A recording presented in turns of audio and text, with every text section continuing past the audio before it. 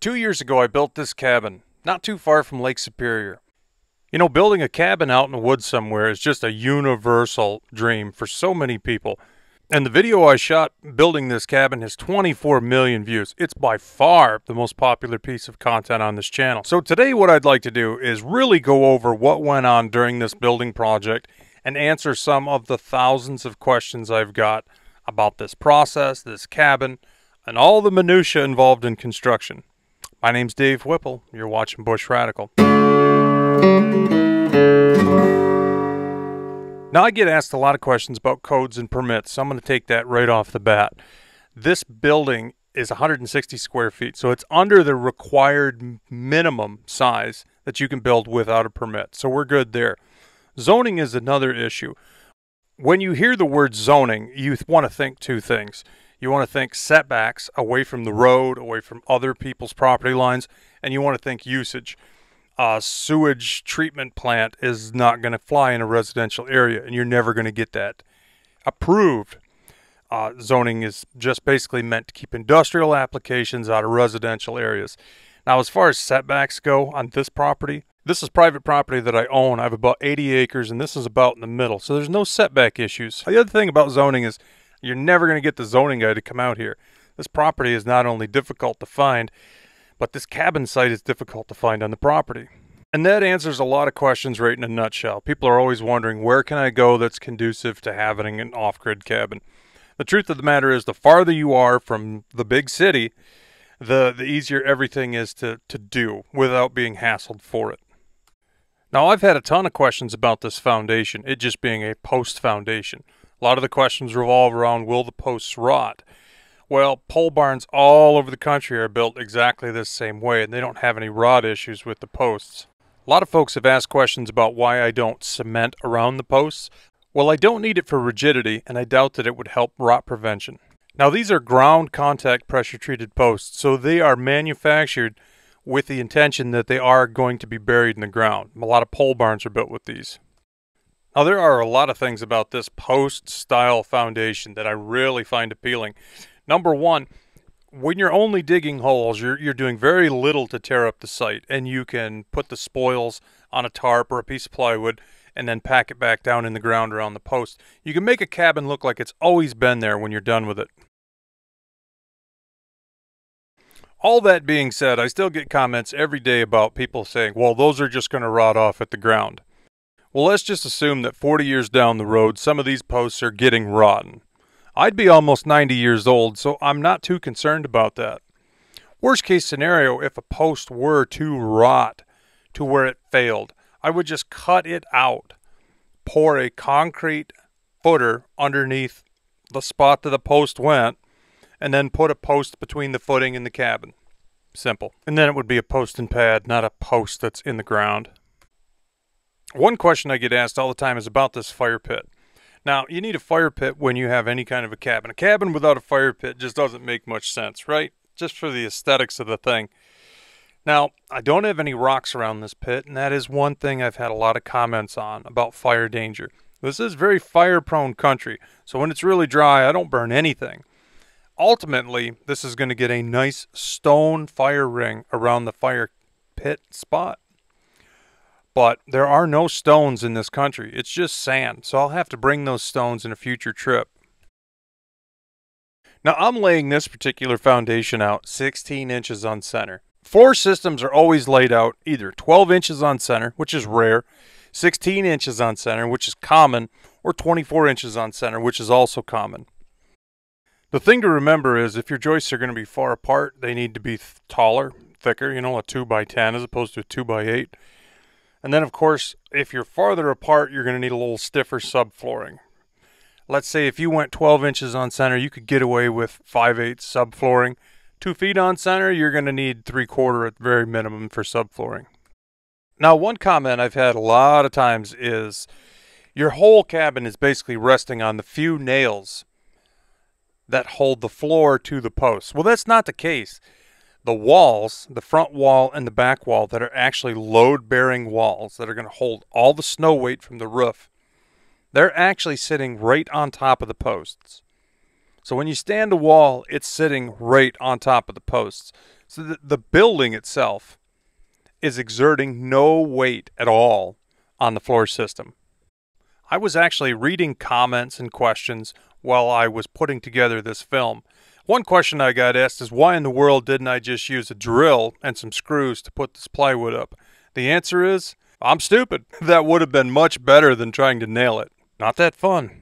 But on uh, the second cabin I built on this property, I dropped pieces of plywood in like drawer bottoms, and that worked better. By nailing plywood underneath the bottom of this floor, I do get the full depth of the floor joist so I can use a thicker insulation which is going to hold more heat longer, more better, that sort of thing. But on the other hand, it's a tiny cabin. It's heated with wood. It'll roast you right out of there. It's kind of overkill. Now the plywood that I used here is a moisture resistant plywood. I kind of had intended of building this cabin on the ground on a treated wood foundation at ground level. And in that case, I would really want the moisture resistant plywood and of course a vapor barrier between the floor and the ground. A lot of details for something that never happened. I decided to build above the ground, which was the right decision. The reason it was the right decision is because there can be three feet of snow up here, so having the cabin a little bit elevated, it's just a better way to go. So to kind of recap and touch on everything, the floor system of this cabin, it's 6x6 ground treated posts. All of the wood in this system is, is green treated except the plywood. All of these floor joists are 2x6s. Now 2x6s are, are pretty light for floor joists, but because this cabin is only 10 feet front to back, well, it's not that big of a deal. And the free span of the floor joist isn't 10 feet. The building itself is 10 foot overall front to back. So take off 3 inches for the outside rim joist, front and back. Take off 11 inches for the 6 by 6 post, front and back. You're at 14 inches. And then another 3 inches for that inside ledger. You're at 17 inches. So truthfully, 17 inches is one foot five inches, so you're only you're only really having an, an eight foot seven span. And once again, for the deck, I'm using treated wood. I use treated wood for everything in the foundation. Not that everything needed to be treated, but I figured I'll just use one product. Everything is two by six. The floor joists are two by six. And then the posts, of course, they're just a four by four treated post. Now, for those who've asked what I used for decking, this is green treated lumber, like everything else. This is just a five quarter deck board. You can get this from Lowe's, Home Depot, whatever. It's not a one inch board, and it's not a real inch and a half board like a like a two by four or two by six. It's kind of in the middle. Really nice for decking. Now, people have asked me a lot of times, why don't you just nail down the deck? Uh, it's kind of one of those things. It's like, if you do nail down the deck, any shrinkage you're going to have to re-nail it down because the head of the nail is going to protrude above the top. And every time you swing and miss at a nail, you're going to dimple up your deck boards. Another question people ask all the time was why is there no space between these deck boards?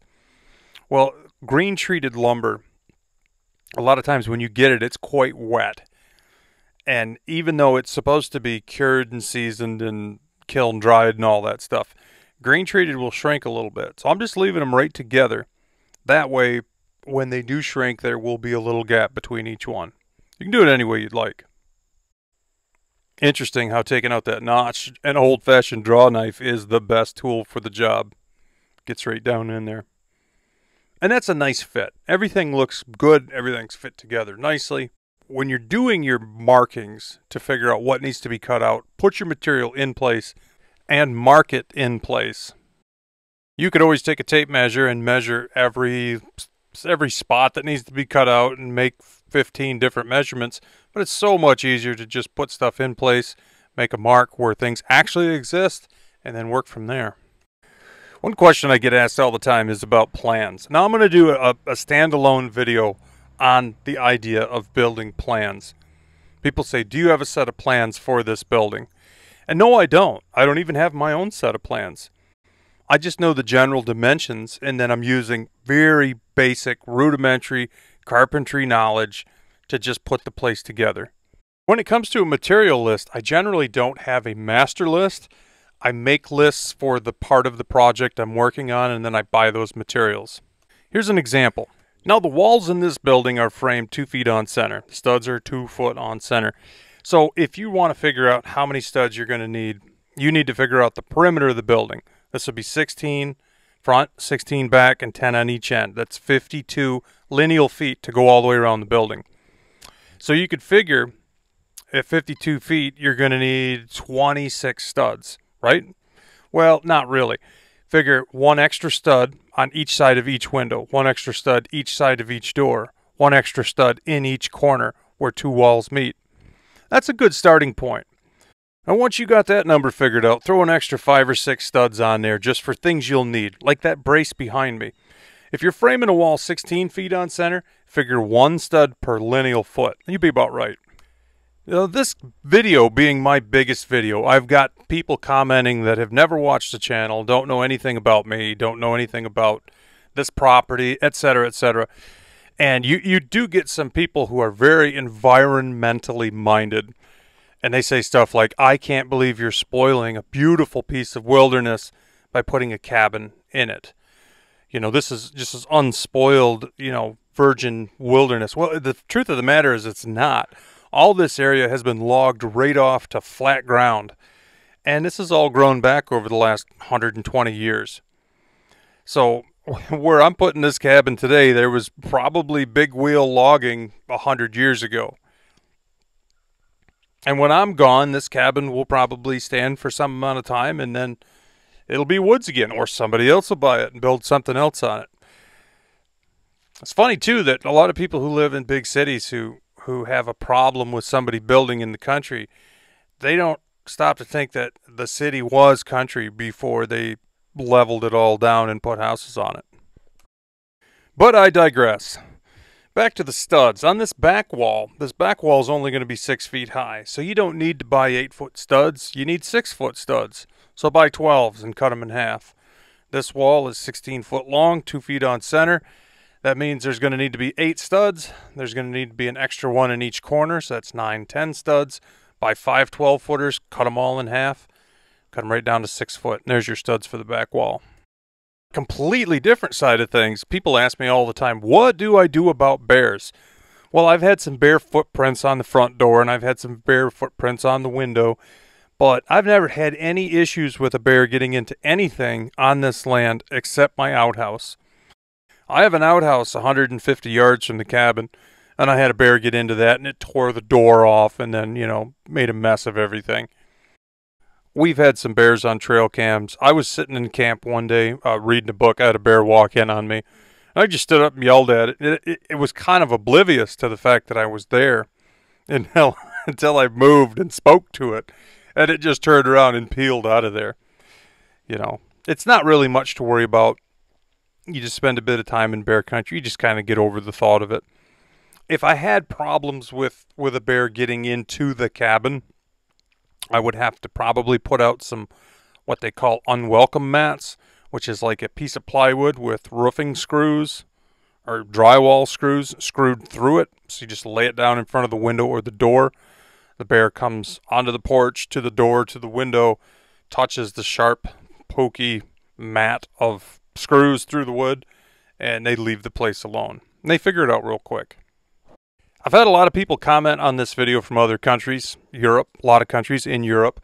And the question is always, do you own this land? Uh, yes, yes, I do own this land.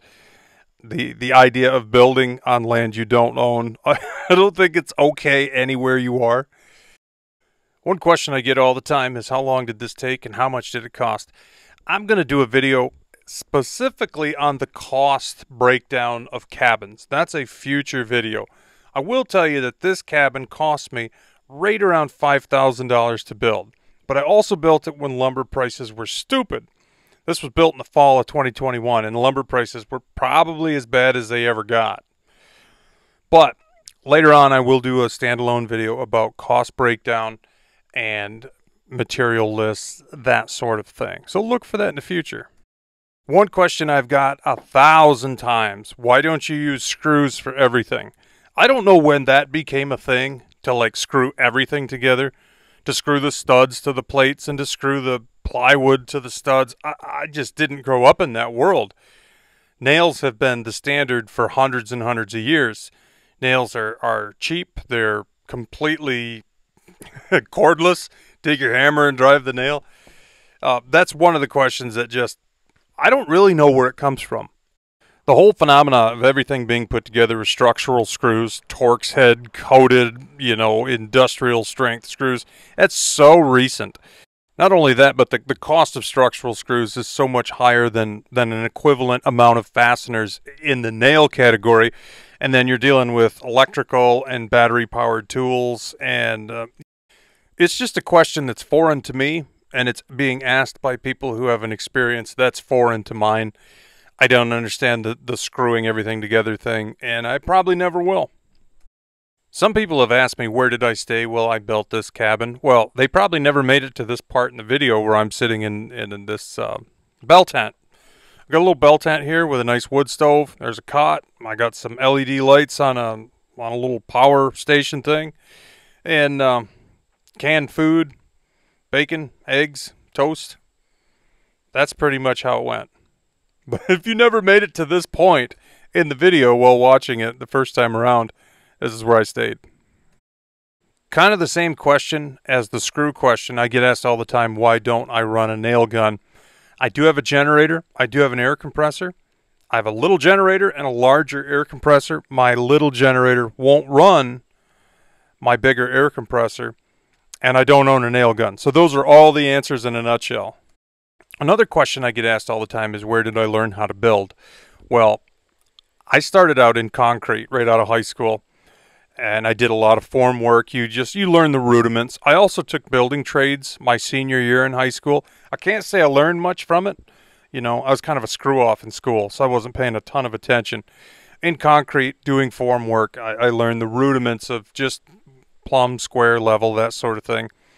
When I started building my first couple buildings, that's when I really progressed in, what I know about carpentry. One day of actually doing something, in my opinion, is better than a year of reading about it.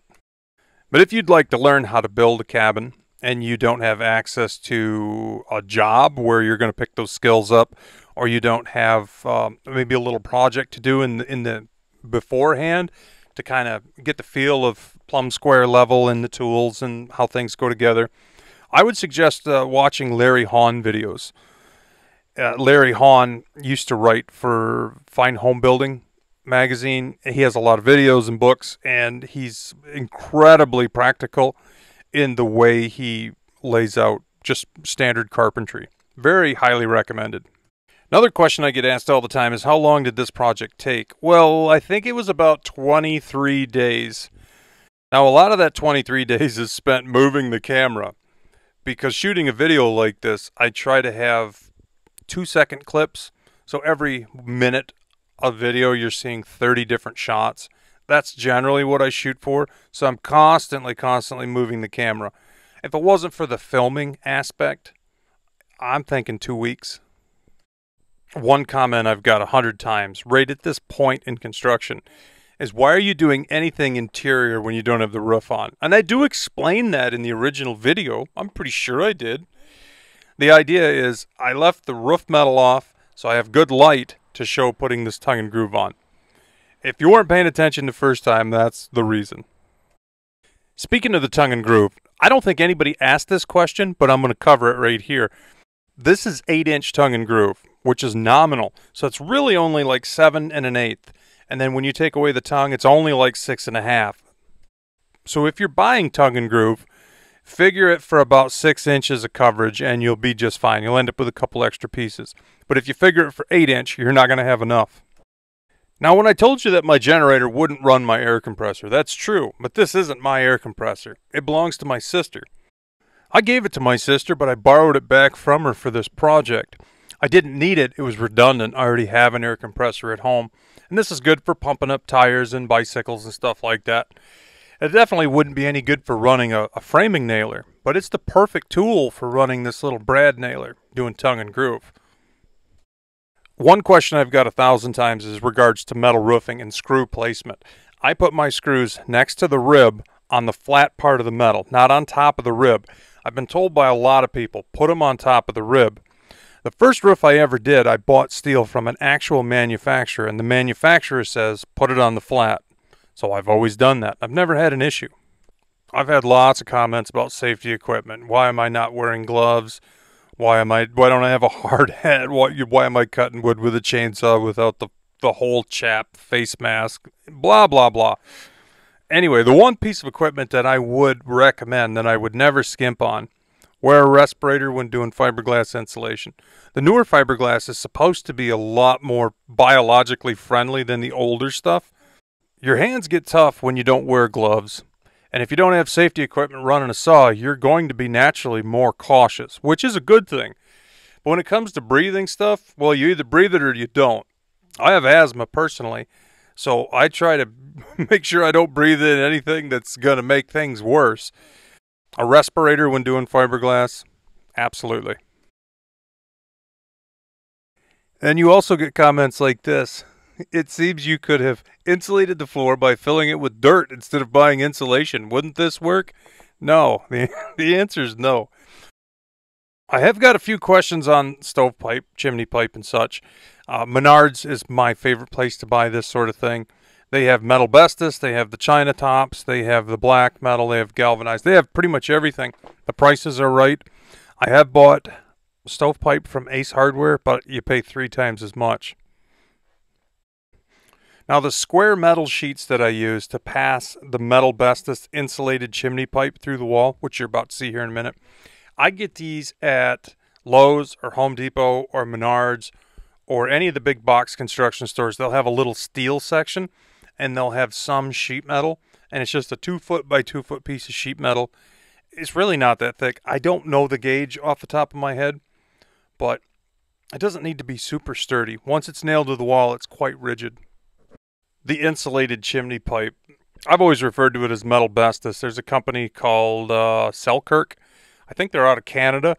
They make that insulated chimney pipe. And when you're running the stove full out, you can put your hand right on it.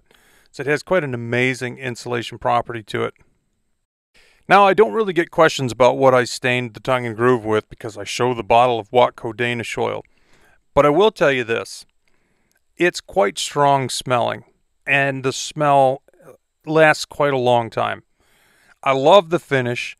I love the texture of it. It's very natural. It's very neutral. You put it on, it just looks like wood, but the wood is protected.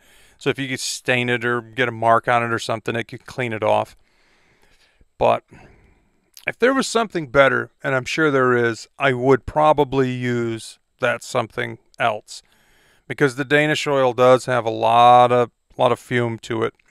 And it does take a long time for that to go away.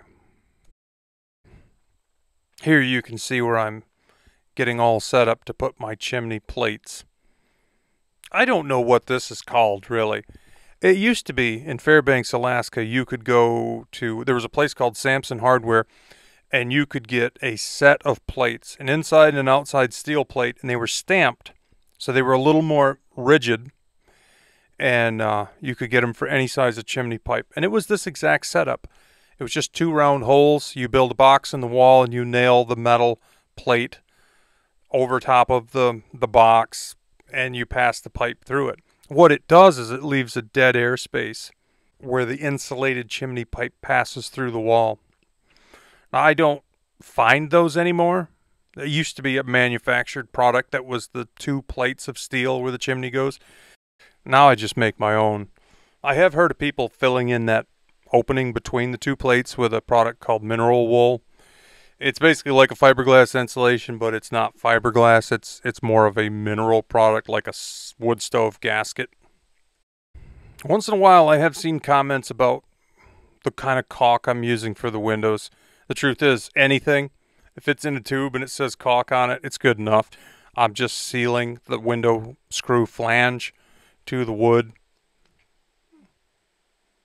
And that's really not even crucial because on the inside of the house, whenever you put windows like this in, just a standard vinyl window, you're generally spray foam around the gap on the inside. So it's sealed anyway. The caulk is kind of overkill. It's really not even that necessary unless you have a window that's very likely to be exposed to a lot of water. And these windows, of course, they're going to get some kind of a trim around them, so you're not going to see that flange when when the cabin is finally finished, whenever that is. Now here's a pretty good view of what it looks like to install that inside-outside plate. And all you really need to do is make sure that it's it's not necessarily supposed to be level. I like to have a little bit of a pitch down on the outside of the building. In case of a lot of snow or rain on that elbow, it doesn't run back into the house and into the wood stove. It just drips. One question I've been asked a thousand times is what about the kitchen and what about the bathroom? Well, obviously, there's neither. In the wintertime, I've been cooking on the wood stove inside. You know, any kind of a soup or any eggs and toast. I've got a griddle and a pot, takes care of everything. Also, I've got a little table that I ended up putting on the end of the porch with a Coleman stove. So a lot of times I'll do my cooking outside. As for a bathroom, the very first video I shot of building anything on this property was building an outhouse. That outhouse is, I don't know, 100, 150 yards away from this cabin. So there's the answer to two questions anyway. One of the questions I've been asked more than anything else is what is the wood stove I used in this project? This is the Camp Chef Alpine heavy duty cylinder stove. This came off of Amazon. Uh, my wife Brooke and I have bought a couple of these just for different projects. It's really a stove intended for a wall tent, but it does great in a cabin. We line the bottom of the stove with fire brick just so it holds a little more heat. One oddity about this stove, it comes with a collapsible pipe that's 5 inches on one end and then whatever on the other. So the port at the top of the stove is 5 inches. You need to buy a 5 to 6 inch adapter. Now the chimney pipe that's going to make the most sense with this stove is 6 inches, so you need a 5 to 6 inch reducer. You can probably find those online easier than in person. I've bought several of them over the years at Ace Hardware, but if you don't have an Ace Hardware, or if you go there and they don't have them on the shelf, might be a little tricky to find that, but they're out there. I've had so many questions on this cabin, but a question I always ask myself is this. At this point in the project, I had the wood stove installed, the windows are in, everything's good. This is where I decided that I needed to build a set of steps. Why did I spend two weeks jumping up and down off this deck and wearing myself out when I should have built the steps weeks ago? Well, honestly, I don't know. So that's the answer to that. Well, now that we're coming up on the two year anniversary of this video, and this video is by far the most popular on the channel, I hope you guys have enjoyed this kind of Q&A deep dive into some of the many, many questions that the viewers have asked about this cabin. Hope you guys have enjoyed this. My name's Dave Whipple. You've been watching Bush Radical. And be radical, eh? See you soon.